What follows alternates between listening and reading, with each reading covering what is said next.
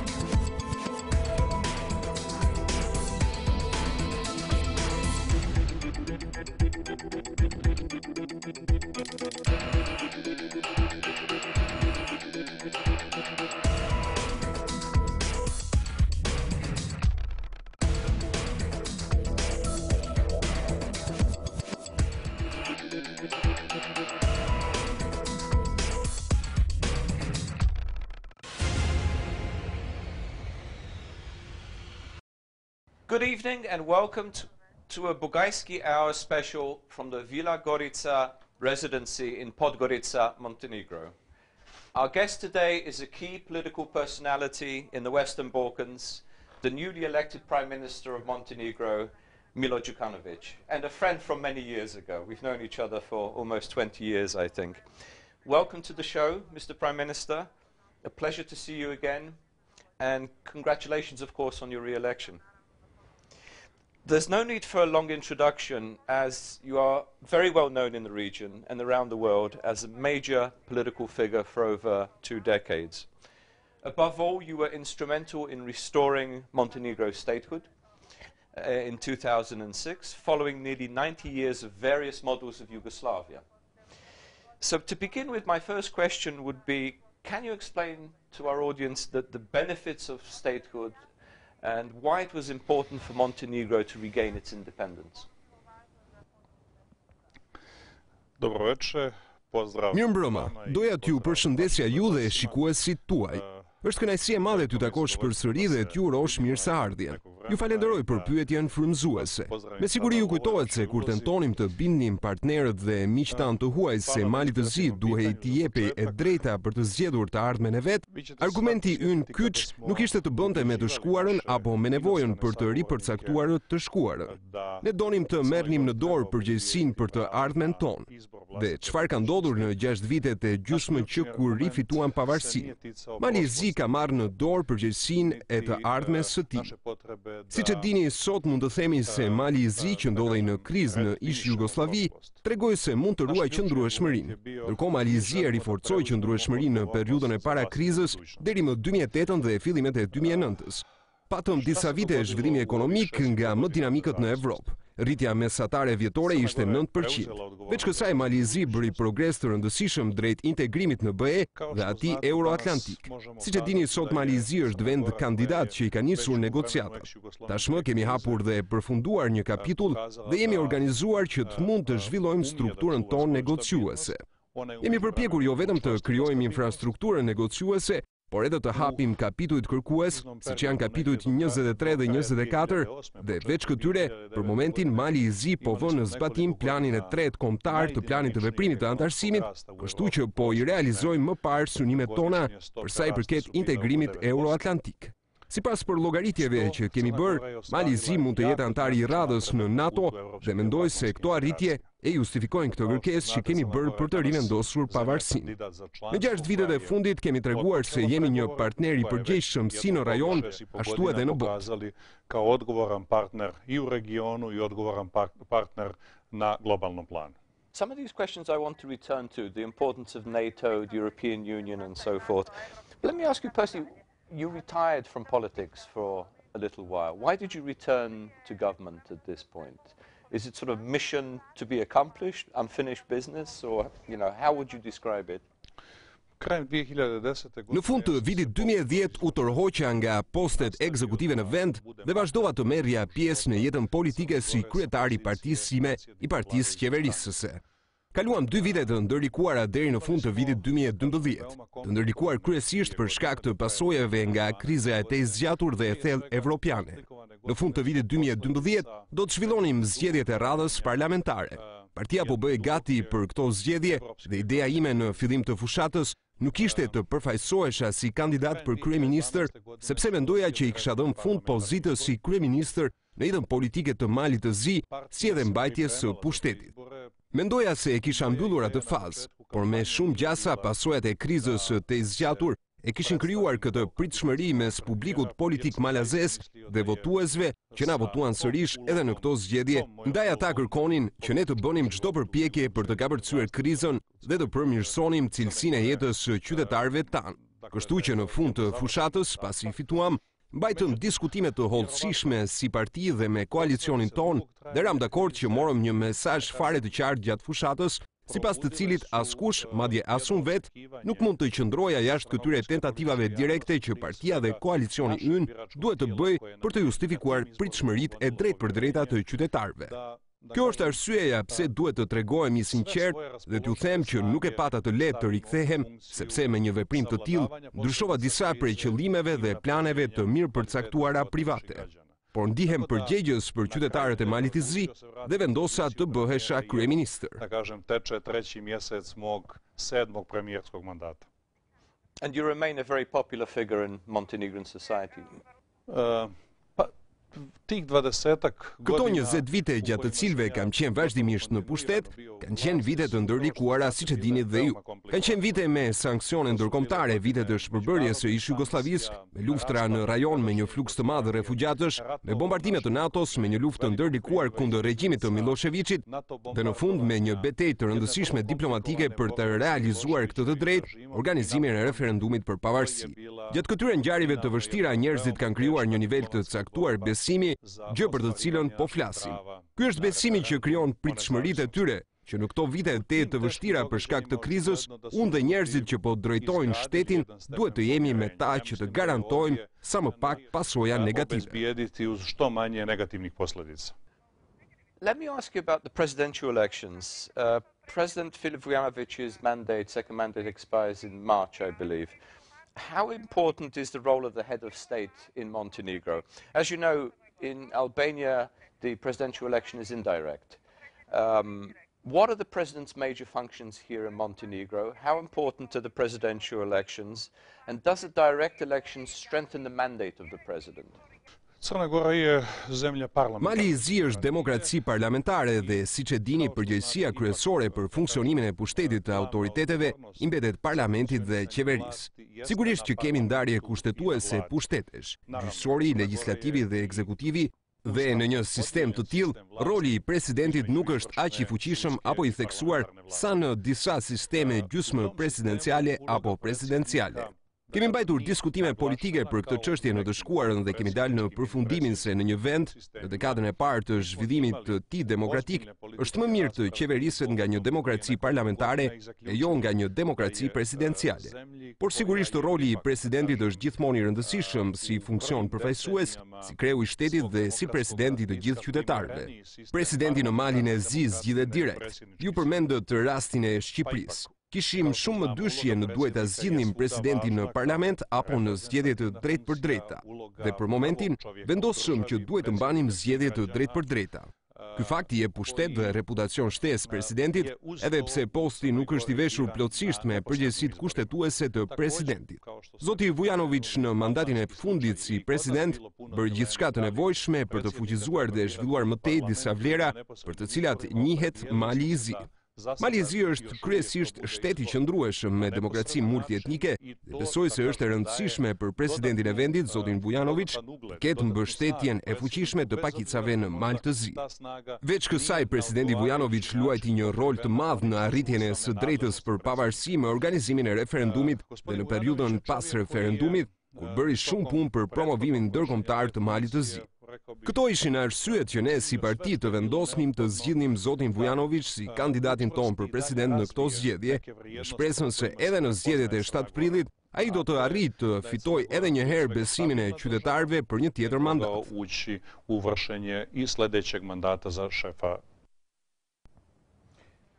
Will, will he stand again for a third mandate? Because there's some question about whether the first mandate, which was before independence, counts. Ka pasur disa paqartësi më shumë politike do të thosha mes ekspertëve avokatëve. Sigurisht para përfundimit të afatit për paraqitjen e një kandidature Jemi konsultuar me një grup të madh avokatësh të cilët na thanë se mandati i zotit Vujanoviç si president i Malit të Zi para pavarësisë nuk konsiderohet as zyrtarisht as ligjërisht si mandati i tij i parë. Interpretimi ishte se zoti Vujanoviç e nisi mandatin e parë në 2008-ën që nënkupton se në 2013-ën nëse ai i fiton sërish zgjedhjet do të nisë mandatin e dytë. Sigurisht gjithçka ishte në dyshim deri në momentin që e paraqitëm zyrtarisht kandidaturën e tij Dhe pastaj erdhi dhe kundërshtimi i Partisë Socialdemokrate, e cila iu drejtua Gjykatës Kushtetuese, e cila nga ana e saj e interpretoi si kandidaturë të vlefshme, duke deklaruar se në shtetin e pavarur të Malit të Zi, ai kishte vetëm një mandat. Kështu pra, kishte të drejtën e marrjes së një mandati të dytë. Let me ask you a question that is on the minds of everybody, whether Montenegro and Albania, that's the economy. Uh, citizens measure the achievements of their government by the achievements by the state of the economy. And in Montenegro, as in Albania, there have been some problems. There's been the repercussions of the global economic financial crunch, the economic crisis in the European Union. What would you say, what, in, in this mandate, your, your next government, what are the priorities to try and ensure economic growth, to raise un, uh, employment, to bring in foreign investors to balance the budget and so on what would you do differently this time than before Ju lutem më lejoni t'ju kujtoj shkurtimisht kohët e shkuara dhe ekonominë malazeze në ato kohë. Ndërsa Jugosllavia ishte ende gjallë, Mali i Zi ishte shteti më pak i zhvilluar një përdorues i vazhdueshëm i subvencioneve që atëherë vinin nga buxheti federal për krahinat më pak të zhvilluara. Para referendumit mbi pavarësinë pati dyshime nëse Mali i Zi është sistem i qëndrueshëm ekonomikisht. Si kryeministër për shumë vjet, kam tentuar të inkurajoj publikun vendas dhe të bind partnerët ndërkombëtarë që Mali i Zi i ka të gjitha kushtet paraprake të nevojshme që do e bëjnë atë jo vetëm një sistem të shëndetshëm ekonomik, por një shtet që në kohë relativisht të shkurtër mund të bëhet pjesë përbërëse e ekonomisë moderne evropiane. Pasi fituam pavarësinë, siç ju thashë në fillim të bisedës, patëm tre vite zgjerimi e rritjeje ekonomike. Rritja vjetore ishte nëntë për qind. Fluksi i investimeve të huaja direkte ishte tepër i madh dhe tregoi performancën e mirë të sistemit tonë ligjor, politik dhe ekonomik. Pastaj erdhi kriza që ndikoi në ekonominë mbarëbotërore, por besoj se pasojat më drastike i pati në vendet më pak të zhvilluara si Mali i Zi dhe shtetet e tjera të Ballkanit. Këto ishin kushtet kur mora pushtetin. Përparësia jonë është konsolidimi i financave publike. Për shkak të krizës së tejzgjatur, ekonomia jonë është në nivel 0% ose me rritje tepër të ulët. Kriza mund të ketë ndikuar më pak në ekonomitë më të zhvilluara në Evropën Perëndimore, por është e papranueshme në Mal të Zi. Pas kësaj rritjeje, pas referendumit, kemi një nivel pak më shumë se pesë mijë euro prodhim të brendshëm bruto për frymë. Pagat mesatare mujore janë më të ulëta se 500 euro paga neto. Në këto pak vite, ne kemi pasur një rritje dinamike, por jemi ende larg qëllimit që i kemi përcaktuar vetes dhe larg nevojës për t'u siguruar qytetarëve standard jetese që ata duhet ta kenë në Evropën e shekullit të njëzet e njëtë. Gjatë dy viteve të fundit të krizës në Evropë, kemi ndier një nevojë të madhe të marrim hua që të mbulojmë deficitin buxhetor dhe të shlyejmë disa detyrime ndaj huave të mëparshme. Kështu edhe detyra e parë e kësaj qeverie është konsolidimi i financave publike dhe paralelisht po tentojmë të aktivizojmë disa projekte zhvillimi në infrastrukturë, energji dhe turizëm. Këto projekte do të garantojnë një rritje më të shpejtë të GDP-së dhe do krijojnë vende të reja pune, por në të njëjtën kohë do të krijojnë mundësinë për eksporte më intensive që do të na ndihmojnë ta shlyejmë më shpejt bilancin e huaj. Pas tentativave fillestare që bëmë gjatë muajve të parë, gjërat duken shumë optimiste. Disa prej projekteve për zhvillim do i nisim që këtë vit. Njëfarë mënyre këto projekte u lanë mënjanë për pak kohë dhe do shohim rezultate të prekshme kur bëhet fjalë për krijimin e produkteve të reja të brendshme. Aktivitetet që kemi ndërmarrë duhet të sjellin një deficit të reduktuar në shpenzimet publike dhe nevojë të reduktuar për të marrë hua, me pak fjalë, konsolidim i financave tona.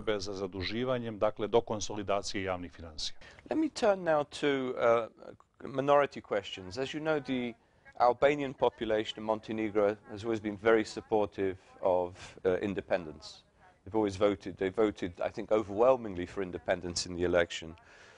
I've recently heard some Albanians complaining that the community here suffers from neglect, that administrative decentralization hasn't, uh, has been fairly limited, uh, that there is a lack of funding for cultural activities for the Albanians in, in southern Montenegro, uh, as well as insufficient access to government jobs. How, how would you respond to that? Is, is this the case or is this an exaggeration? Uh, Doja të konfirmoja një prej komenteve që bët. Mali Zi mund të shërbej si një shembul i demokracisë multietnike. Besoj i mbani mend ato vitet e vështira në Ballkan kur në njëfarë mënyre ai ishte thuajse çështja kryesore në politikën e jashtme amerikane.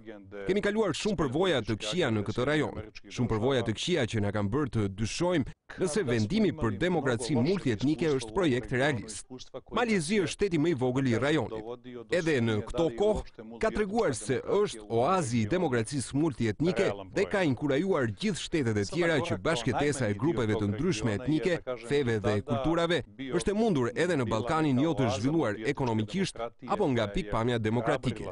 Edhe sot rreth 18 vjet Pas marrëveshjes së Dejtonit, mund të themi se besimi ekziston, se bashkëjetesa në Ballkan është e mundur dhe se Ballkani duhet të gjejë vendin e vet në proceset integruese në Evropë dhe në NATO. Në të shkuarën na është dashur të ndërtojmë marrëdhënie të mira fqinjësie mes Malit të Zi dhe vendeve të tjera të rajonit.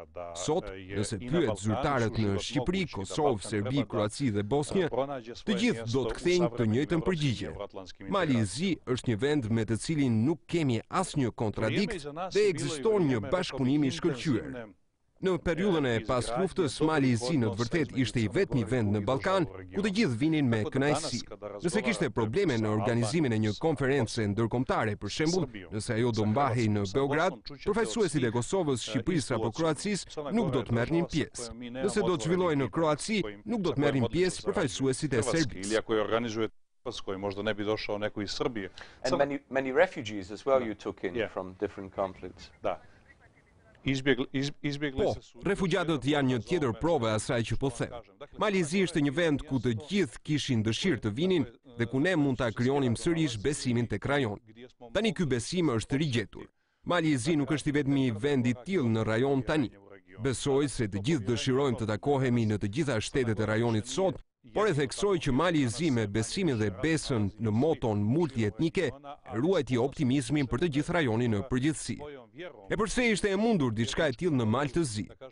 Pikërisht falë traditës së qasjeve të mira dhe të kujdesshme ndaj pakicave. Siç e thatë edhe ju, pakicat, përfshi dhe atë shqiptare, dhanë një kontribut të çmuar në rivendosjen e pavarësisë së tij. Duhet të themi që pakicat janë ato që po japin një karakter të veçantë pavarësisë së Malit të Zi. Do të thosha se gjithçka është rezultat i një qëndrimi të gjatë dhe historikisht të kujdesshëm që Mali i Zi ka mbajtur ndaj pakicave të tij. Këtu pakicat nuk janë ndjerë kurrë të lëna pas dore apo të trajtuara ndryshe, si në deklaratat e mia edhe në ato të kolegëve të mi. Si udhëheqës të vendit gjithmonë kemi thënë se jemi të barabartë dhe ne si Malazez jemi përgjegjës të garantojmë që përfaqësuesit e pakicave të ndihen si qytetarë me të drejta të plota të Malit të Zi. Duke e pranuar këtë, jemi përgjegjës ndaj tyre si shteti i tyre, si vendi i tyre. Të dy e dimë që kjo çështje s'do arri kurrë të mbyllet plotësisht. Nevoja të reja lindin për ditë. Të drejtat e njeriut, përfshi dhe ato të pakicave, duhen përmirësuar dhe jam i bindur që Mali i Zi në vitet dhe dekadat në vazhdim do të vihet përsëri në provë për përgjegjësinë ndaj pakicave dhe nevojave të tyre si element të rëndësishëm të shoqërisë malazeze. Sigurisht në çdo vend gjen qytetarë të pakënaqur. Edhe këtu ka malazezë që janë të pakënaqur me qëndrimin e shtetit ndaj tyre dhe jam i bindur që ka individë të tillë edhe nga pakicat, por nuk do e nënvlerësoj këtë çështje. Ne bëjmë kujdes të madh në qasjen e këtyre çështjeve, por duhet t'ju them se Mali i Zi gëzon demokraci multietnike.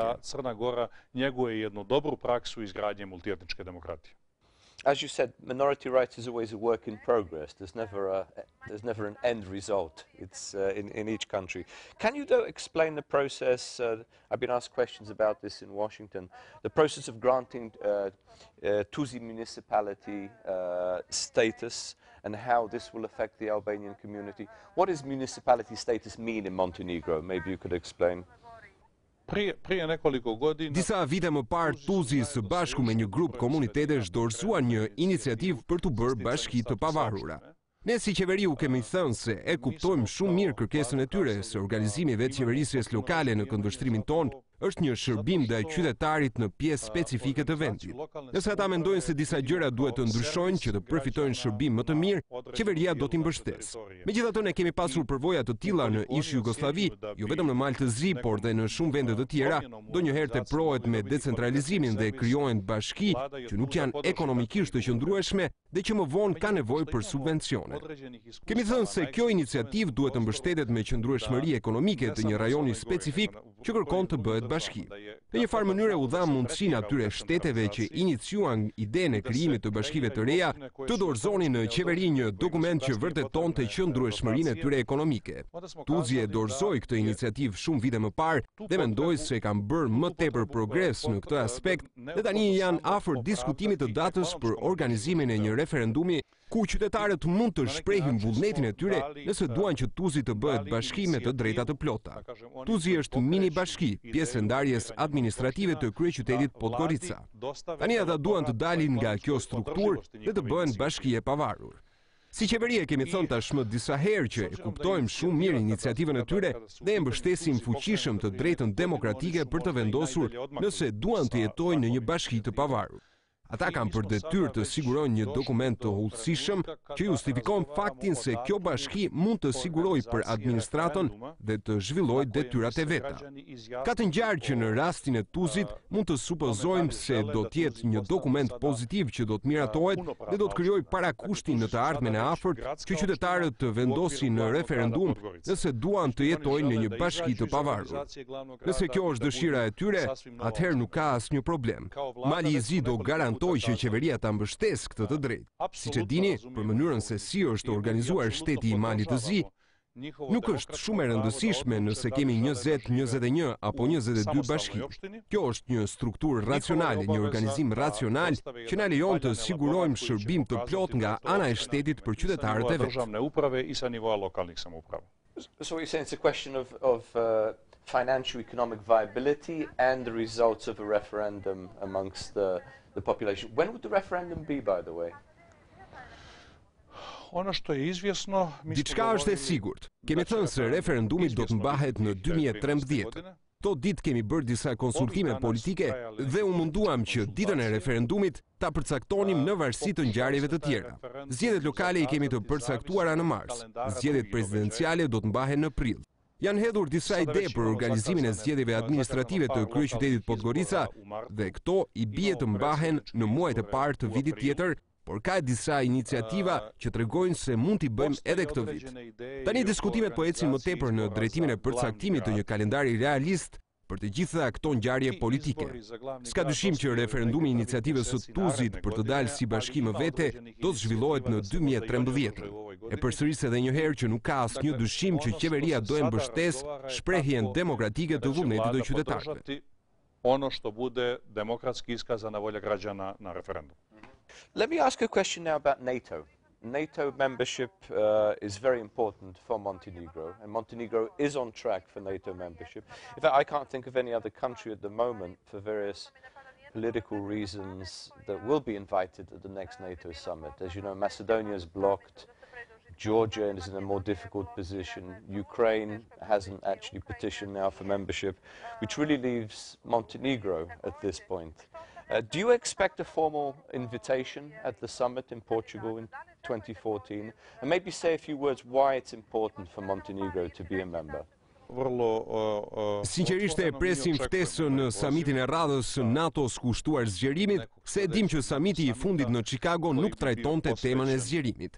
Keni të drejtë, është një çështje e rëndësishme për Malin e Zi dhe për mendimin tim është po kaq e rëndësishme edhe për Ballkanin Perëndimor dhe s'besoj se mburrem kur them që është e rëndësishme edhe për NATO-n. Nga sa tregon përvoja e së shkuarës së afërme apo të largët, për shembull kriza e viteve nëntëdhjetë, Sa herë që ky rajon lihet jashtë hapësirave moderne evropiane dhe euroatlantike, ekziston rreziku real që rajoni do pësojë çrregullime dhe për shkak të zhvillimit të pamjaftueshëm ekonomik dhe demokratik mund të shfaqë mungesë tolerance dhe mungesë në përthithjen e dallimeve etnike, kulturore dhe fetare mes popujve që jetojnë në rajon.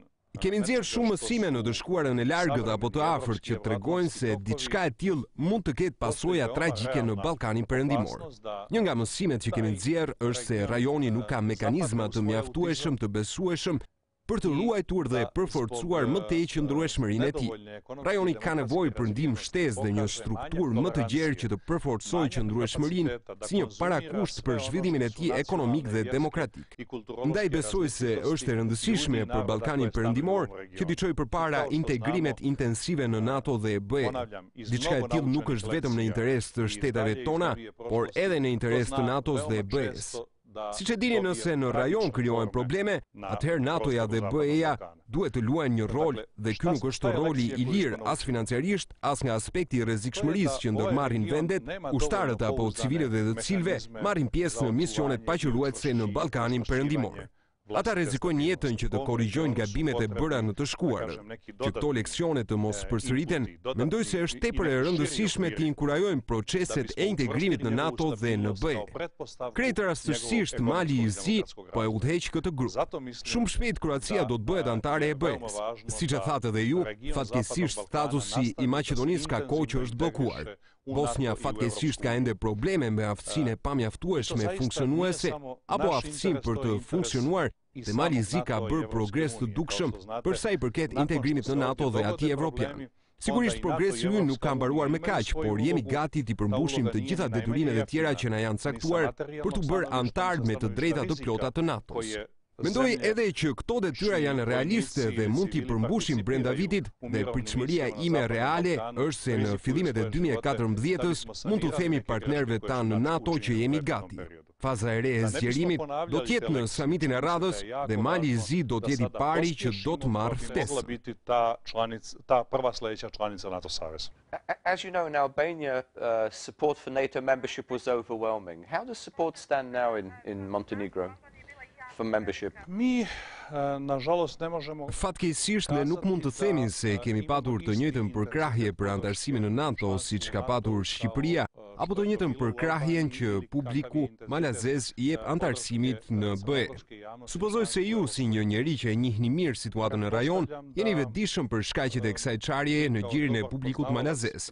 Kjo është pak a shumë një barrë për qytetarët e Malit të Zi, e cila lidhet me kohërat e luftës së ftohtë. Fatkeqësisht ne kemi ende traumën nga vitet 90 kur Mali i Zi ishte një pjesë përbërëse e Jugosllavisë në atë kohë, dhe sërish pa bërë asgjë vetë, vendi u bombardua nga NATO-ja dhe ne duhet të themi haptazi se në atë kohë kjo la pas një traumë, sidomos në mesin e një pjese të publikut malazez që është mosbesues ndaj NATO-s. Që nga ajo kohë e deri më sot, si njerëz që promovojmë NATO-n, si njerëz që menaxhojnë politikën shtetërore, ne bëjmë përpjekje të parreshtura për të përmirësuar strategjinë e komunikimit për anëtarësimin në NATO me qëllim që të arrijmë përkrahjen më të madhe të mundshme nga qytetarët. Pra gjithashtu duhet theksuar se ka një zgjerim të kësaj përkrahjeje. Sondazhet e fundit tregojnë se dyzet e tre për qind e publikut e përkrah atë. Dhe ne besojmë se nëpërmjet një fushate të përforcuar dhe gjithçka tjetër që po bëjmë me politikën shtetërore, ky vit është një periudhë mjaft e mirë kohe për ta forcuar më tutje këtë përkrahje. Dhe, siç e thashë dhe më parë, në fillim të vitit dy mijë e katërmbëdhjetë, Ne do t'u dërgojmë partnerëve tanë të NATO-s mesazhin e fuqishëm se kemi krijuar të gjitha kushtet paraprake për anëtarësim në NATO.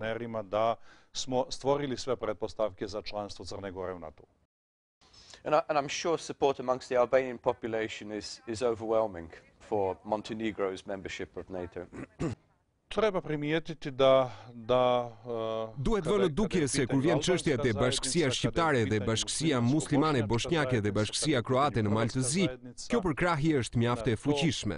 Brenda grupeve malazeze dhe serbe do thosha se ka një farë ndasie për sa i përket kësaj çështje.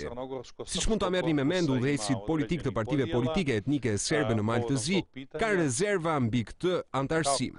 Por si përfaqësues të politikës zyrtare në vend ne po orvatemi t'u shpjegojmë se nuk është një qasje racionale që të tregohemi emocionalë kur diskutohen këto çështje dhe nuk është racionale që ta mbajmë vështrimin vetëm pas. Ne mund të diskutojmë përse ndodhi bombardimi i NATO-s, por unë jam i sigurt se kjo ka një justifikim dhe një shpjegim. Por ky nuk duhet të jetë fokusi ynë mbizotërues sa i takon anëtarësimit në NATO. Fokusi ynë mbizotërues duhet të jetë pyetja nëse malazezëve u jepet një mundësi shtesë për stabilitet e zhvillim ekonomik me anëtarësimin në NATO apo pa të. Ne kemi bindjen se anëtarësimi në NATO ofron një hap më të madh në rritjen dhe zhvillimin ekonomik dhe se në të ardhmen e afërt Mali i Zi do të bëhet jo vetëm zyrtarisht, por edhe sa i përket standardit të jetesës, një pjesë organike e bashkësisë euroatlantike.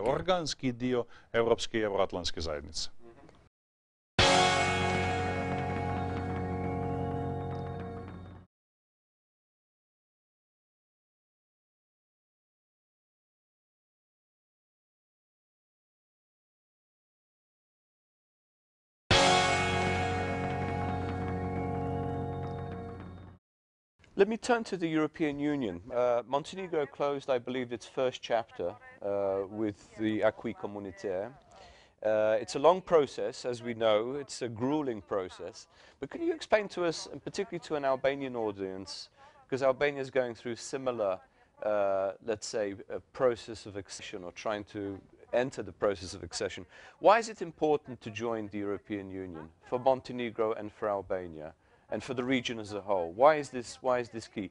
Given that the European Union itself has its internal problems, some of its economic future is uncertain, and even some countries like Britain may actually be exiting the Union. Uh, so why is it important for Albania and Montenegro to enter? Unë sapo fola mbi rëndësinë e integrimit të rajonit të Ballkanit Perëndimor. Çështjen që ju e ngritët me pyetjen tuaj, unë e diskutoj shpeshherë me njerëz që jetojnë në Mal të Zi dhe që po japin shembujt e disa prej shteteve të tjera evropiane. Përgjigja ime është se është më mirë që drejtimet për të ardhmen t'i meditosh dhe t'i diskutosh nga pozitat e Zvicrës apo të Norvegjisë, sesa nga pozitat e Ballkanit Perëndimor, sepse për fat të keq, siç e thashë më parë, Ne kemi patur një mori përvojash në historinë tonë bashkëkohore, ku ne kemi treguar vazhdimisht një mungesë të kapacitetit për të shteruar të gjitha dallimet dhe diversitetin në këtë rajon. Dhe mjaft shpesh disa dallime fetare, kulturore apo etnike janë parë si një e metë dhe jo si pasuria jonë e përbashkët. Dhe kjo shpeshherë shndërrohet në motiv për konflikte etnike dhe për luftra në këtë rajon. Fatkeqësisht unë druaj se nëse flasim për një alternativë ndaj integrimit të Ballkanit në BE dhe NATO, kjo është do të thosha unë dëbimi i Ballkanit dhe një udhë pa krye dhe do t'u shkaktonte dëme të gjithëve. Pikësëpari atyre prej nesh që jetojnë këtu, sepse ne po e paguajmë këtë me jetën tonë dhe me humbje materiale e financiare. Dhe pa dyshim kjo shkakton efekte negative në bashkësinë evropiane në përgjithësi dhe sjell rreziqe e dëme te komuniteti euroatlantik gjithashtu. Sot Evropa po përballet me probleme vërtet serioze. Eksperienca e derisotme ka nxjerrë në pah disa dobësi të arkitekturës aktuale evropiane dhe Evropa po ballafaqohet sot me këto dobësi dhe po rreket të skicojë një arkitekturë të re. Është më se e natyrshme që kjo ka okupuar pjesën më të madhe të vëmendjes së politikës evropiane dhe me gjasë kjo është arsyeja përse Evropa aktualisht nuk po i kushton të njëjtën vëmendje fazës tjetër të zgjerimit. Së paku jo në të njëjtën mënyrë si mbas rënies së Murit të Berlinit në fillim të viteve nëntëdhjetë. Unë ende them se ne duhet të besojmë që me dobësitë që arkitektura evropiane ka treguar, ideja e integrimit evropian nuk është shkatërruar dhe se ka mundësi që kjo ide të përforcohet me një arkitekturë të re evropiane. Them se kjo është diçka që është në interes jo vetëm të Ballkanit Perëndimor, por është në interes të të gjithë evropianëve në mënyrë që nesër Evropa të jetë globalisht konkurruese, dhe së bashku me SHBA-në, Kinën, Rusinë, Brazilin, Indinë dhe aktorë të tjerë të mëdhenj, në mënyrë që të jetë në gjendje të përfaqësojë një nga motorët e rolit të civilizimit dhe të zhvillimit, Evropa duhet të jetë e qëndrueshme dhe duhet t'i përdorë siç duhet të gjitha burimet e veta. Dhe në mënyrë që Evropa të jetë e qëndrueshme dhe të përdorë të gjitha burimet e saj, ajo duhet të gjejë formulën për unifikim për mirëfunksionimin e saj të brendshëm. Dhe kjo është arsyeja përse mendoj se është në interes të Evropës pikë së pari që Ballkani Perëndimor nëpërmjet procesit të integrimit të fillojë të jetojë jetën sipas standardeve evropiane dhe të mos qëndrojë izoluar. Dhe mandej Evropa mundet vetëm të marrë pjesë mbasi fakti të ketë ndodhur për të sheshuar e zbutur problemet e krijuara në Ballkanin Perëndimor për shkak të standardeve jo evropiane që ne jetësojmë.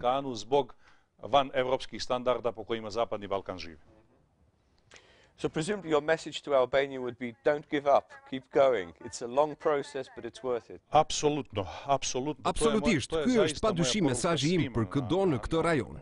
Unë besoj fuqimisht se Shqipëria dhe politika e saj shtetërore e njeh rëndësinë e integrimit.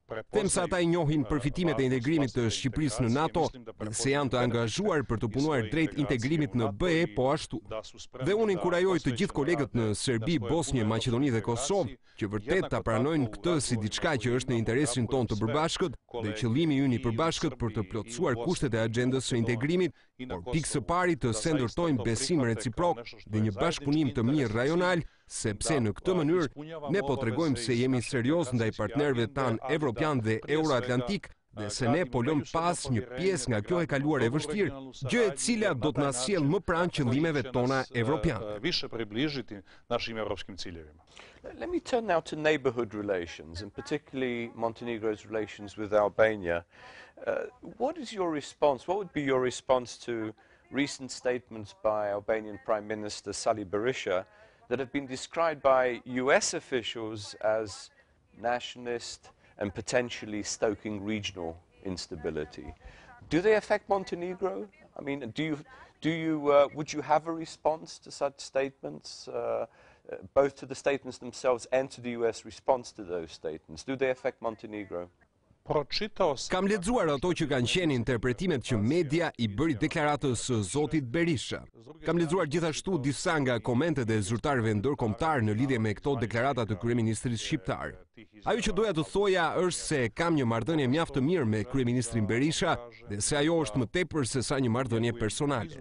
Them se kjo bazohet në qasjen e përgjegjshme në të përmbushurit e obligimeve bazuar në një traditë tejet të mirë që ne kemi në marrëdhëniet në mes të Shqipërisë dhe Malit të Zi. Si kryeministra sot gjendemi në situatën që duhet ta respektojmë këtë traditë dhe për të vijuar të kontribuojmë me përgjegjësi në krijimin e marrëdhënieve edhe më cilësore ndërmjet dy vendeve tona. Siç u thashë dhe pak më parë, unë shoh se në mesin e shumicës së gjerë të popullatës shqiptare në Malin e Zi Ata janë vërtet të angazhuar për mirëqenien e Malit të Zi. Kjo nuk është e lidhur vetëm me përkrahjen e tyre për pavarësinë e Malit të Zi, por unë mendoj se në shembujt e përditshëm ju mund të shihni se këta njerëz ndjejnë me të vërtetë se Mali i Zi është vendi i tyre.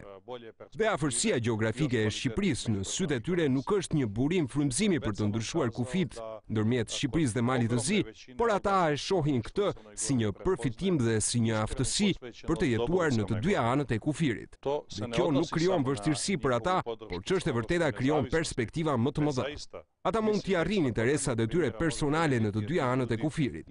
Pra, si dy qeveri, unë mendoj se ne po i japim një shtysë të kuptuarit të rrethanave dhe përfitimeve që pakica shqiptare duhet të ndiejë në Mal të Zi dhe që pakica malazeze duhet të ndiejë ndërkohë që jeton në Shqipëri. Pra unë mund t'ju them sinqerisht se deklaratat të cilat nga media tona këtu u interpretuan në një mënyrë të caktuar nuk rezultuan me përkeqësimin e marrëdhënieve ndërmjet vendeve tona. Harmonia multietnike dhe stabiliteti në Mal të Zi nuk u vunë asnjëherë në dyshim, pavarësisht nga këto deklarata të lëshuara nga kryeministri Berisha, për të cilat nuk e di në qoftë se ato u interpretuan siç duhet nga media, Përtej kësaj pra, ndofta ne mundet vetëm të risjellim në kujtesë përvojën e viteve nëntëdhjetë, kur ndoshta këndvështrimet politike të cilat nuk u analizuan siç duhet, manipuloheshin ndonjëherë nga publiku në secilin nga dy vendet dhe kjo mund të rezultonte në ngjarje tragjike. Pra, si njerëz të përgjegjshëm në jetën politike, them se ne duhet të rifreskojmë gjithnjë kujtesën tonë dhe t'i mbajmë ato ngjarje diku në sfond të mendjes sonë, për të garantuar që edhe ata që duan ta shohin atë deklaratë si alarmuese, të mos kenë një alibi se mbas kësaj deklarate mund të rezultojë një veprimtari shkatërrimtare nga ana e dikujt, i cili është i prirur për nga shkatërrimi. Bazuar në të gjitha bisedat që unë kam patur me kryeministrin Berisha, unë kam bindjen se ai e sheh të ardhmen e Shqipërisë në Bashkimin Evropian dhe se në po këtë mënyrë, ai e sheh edhe nevojën e popullit shqiptar, një popull që jeton ç'është e vërteta në vende të ndryshme të këtij rajoni nëpërmjet bashkimit të të gjitha vendeve të rajonit në Bashkimin Evropian. Kjo do të krijonte kondita për një komunikim dhe marrëdhënie më të mirë. Iza, da kažem, međusobnu bolju komunikaciju i međusobnu kvalitetniju povezanost. Let me ask you about Serbia. Uh, would you say that Belgrade has fully accepted the independence, statehood, territorial integrity and distinct historical identity of the Montenegrin people. Siç e dini disa vjet mbasi ne fituam pavarësinë, patëm probleme serioze me disa qarqe politike në Beograd sa i përket pavarësisë së Malit të Zi. Ndonëse vërtet morëm njohjen zyrtare, disa individë nga autoritetet në Serbi treguan le të themi një sjellje të mirë në përqasjen ndaj kësaj pavarësie. Ne ishim gjithashtu dëshmitarë të aktiviteteve politike vërtet shkatrimtare sa i përket pavarësisë së Malit të Zi dhe nevojës që Mali i Zi ka për t'u angazhuar në politikat shtetërore në pajtim me interesat e veta kombëtare dhe përfundimisht sa i përket nevojës së Malit të Zi për të organizuar zgjedhje të lira dhe demokratike brenda territorit të tij ku njerëzit do të ishin në gjendje të zgjidhnin liderët e tyre pa ndonjë ndikim nga Beogradi. Ajo që unë vërej është se së fundmi ne kemi patur shenja krejt të reja nga liderët për të besuar se ka një cilësi të re dhe një qëndrim të ri nga ana e autoriteteve në Beograd sa i përket Malit të Zi dhe pavarësisë së tij. Pikërisht së fundmi ne patëm zgjedhje parlamentare në Mal të Zi. Siç e dini unë jam një person me një mandat dhe një përvojë të gjatë politike në organizimin e zgjedhjeve. Dhe për herë të parë unë mora pjesë në zgjedhje ku ne nuk ndjemë trysninë e ndikimit mediatik, financiar dhe politik nga Beogradi. Kjo është inkurajuese në vështrimin tim. Përfundimisht kjo më bëri të jap opinione tejet pozitive për qëndrimin e autoriteteve të reja në Serbi karshi Malit të Zi dhe ne nga ana jonë jemi të gatshëm të bashkëpunojmë për t'iu përgjigjur në të njëjtën mënyrë dhe nëpërmjet këtij bashkëpunimi të përpiqemi ta ndihmojmë Serbinë që të mbajmë hapin e procesit të integrimit evropian Për shkak se ai është vendi më i madh në ish-Jugosllavi dhe hapi i saj në integrimin evropian mund të ndikojë edhe te ne. Let me turn to Kosovo. Can you tell us what, how Podgorica can help in the case of ensuring better relations between Kosovo and Serbia, ensuring territorial integrity, security, that, that Kosovo becomes, a, let's say, a fulcrum of stability rather than potential instability in the region. What can Montenegro contribute to that process? Para së gjithash ne duhet të shohim progresin inkurajues në këtë aspekt në komunikimin ndërmjet Kosovës dhe Beogradit. Ne jemi të ndërgjegjshëm për diskutimet që po zhvillohen në Bruksel tani, por kudo që të kryhen ato, ka shumë rëndësi fakti që ato po zhvillohen. Dhe ka gjithashtu shumë rëndësi që këto diskutime nuk janë fjalë boshe në varësi të kushteve. Ato pra nuk janë thjesht arsye simbolike.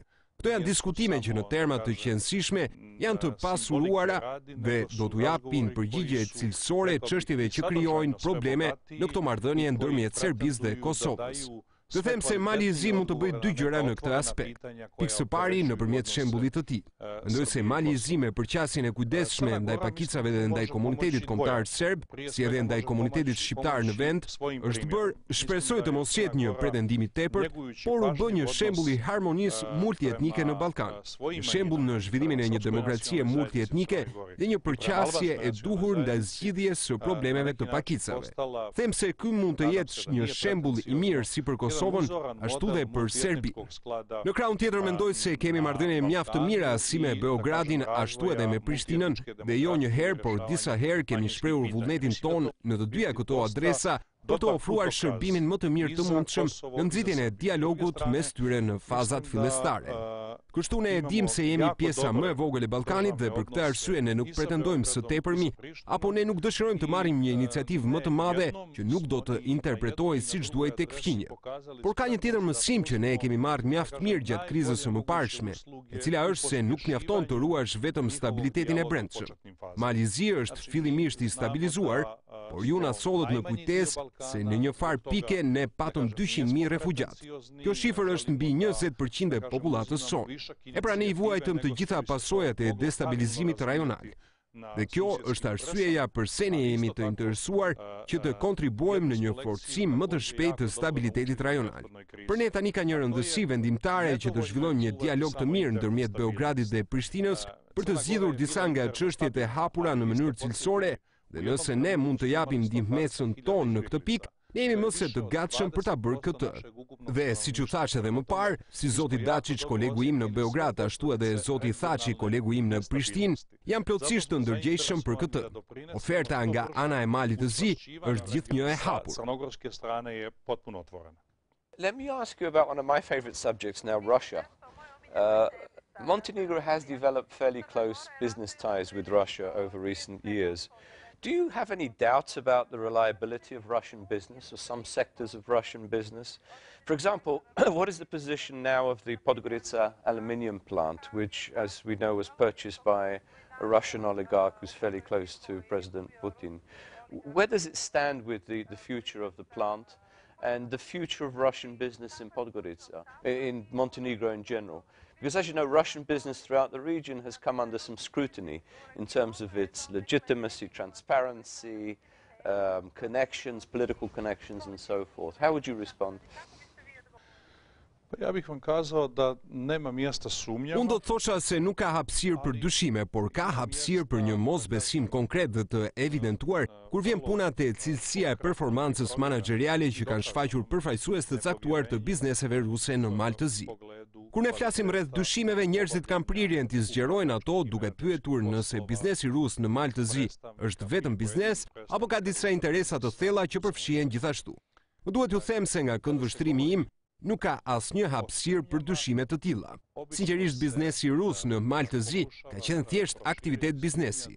Tani po flasim për cilësinë e atij biznesi. Le të themi se përvoja më e theksuar që kemi është pikërisht me uzinën e aluminit.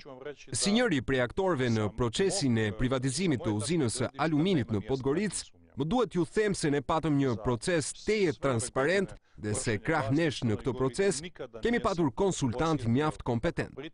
Patëm Bankën Evropiane për Rindërtim dhe Zhvillim si dhe Bankën Pariba nga Parisi dhe nëpërmjet një tenderi afatgjatë, ne u përpoqëm të thithnim kompani nga Shëbëaja, Kanadaja dhe Australia dhe askush nuk shprehu interes në zhvillimin e këtij lloj biznesi në Ballkan. Ata që aplikuan në tender ishin kompania më e madhe globale në prodhimin e aluminit në atë kohë, rusja En Plus Group, dhe ne e pranuam këtë ofertë dhe sot me gati 8 vjet eksperiencë, unë mund t'ju them se në marrëveshjen e blerjes ne patëm goxha sukses. Disa muaj përpara Malit të Zi Greqia zhvilloi një privatizim të një kompleksi alumini dhe Mali i Zi arriti një çmim shumë më të mirë se sa Greqia kur ata privatizuan uzinën e tyre të aluminit. Ku u shfaqën në të vërtetë problemet? Njëri nga problemet ishte performanca e detyrave manaxheriale. Madje edhe vetë manaxhimi ishte një problem. Mbas disa vjetësh partneri rus filloi të mbeste mbrapa me investimet në zhvillimin e kompanisë Dhe është e qartë se pa investime të përhershme dhe të vazhdueshme në teknologji të reja, ti nuk mund të presësh që një industri e caktuar të jetë në gjendje t'i mbijetojë konkurrencës së ashpër ndërkombëtare.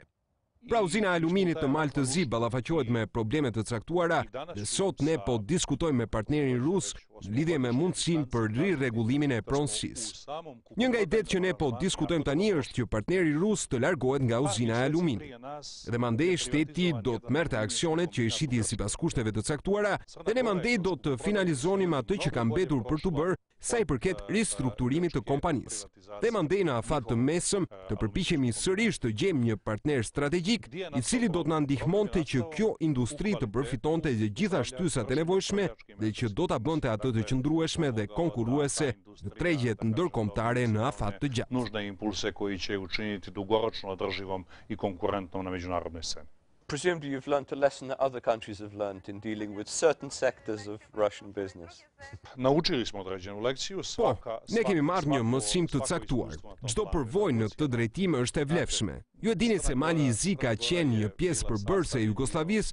Shumë prej detyrave nuk zhvilloheshin në nivelin e shtetit të Malit të Zi.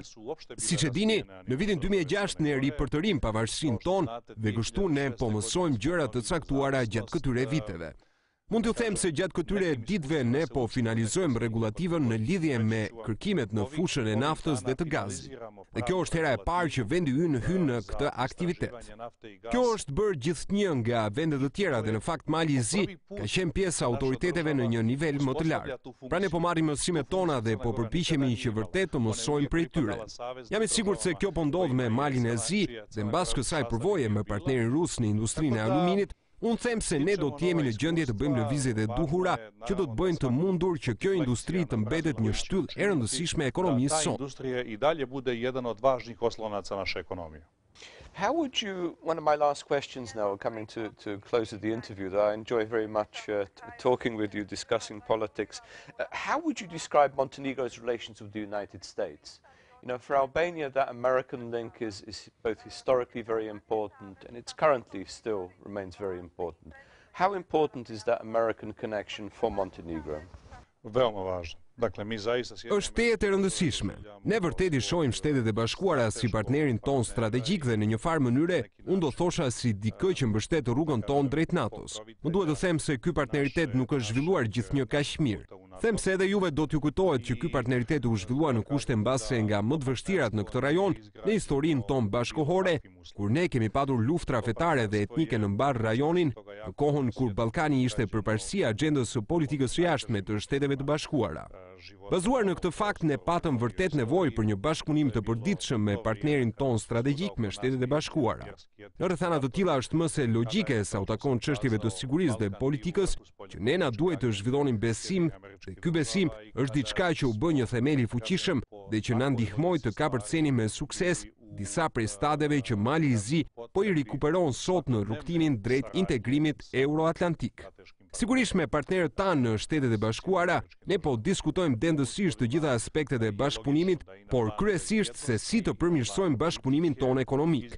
Ka disa nisma të caktuara në këtë drejtim sa i përket zhvillimit të infrastrukturës sonë në lidhje me kërkimin dhe sektorin e energjisë. Pra unë pres që në periudhën e ardhshme, agjenda e marrëdhënieve tona do të pasurohet nga suksesi në bashkëpunimin tonë ekonomik, dhe perspektivat për marrëdhëniet tona të ndërsjella mund të jenë mjaft të suksesshme.